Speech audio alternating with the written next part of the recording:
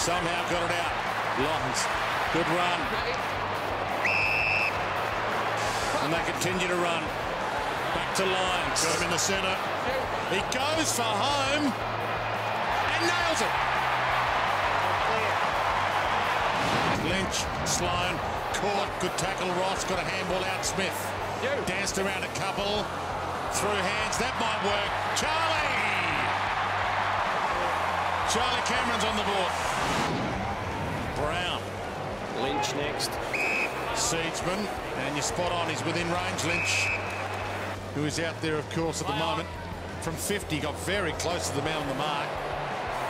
But that's okay. It works for him. Bruce and early leap, and it'll be coming back. Talia. Seedsman.